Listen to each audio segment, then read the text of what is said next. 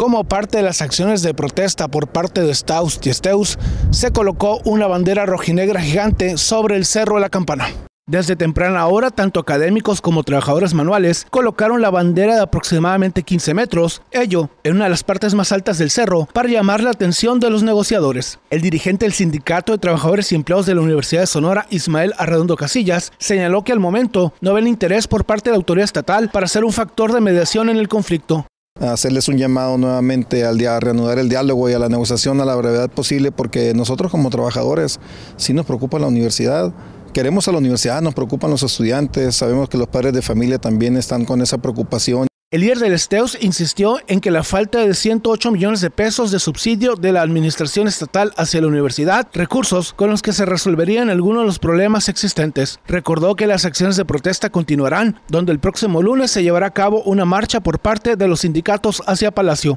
Germán Contreras, Mega Noticias.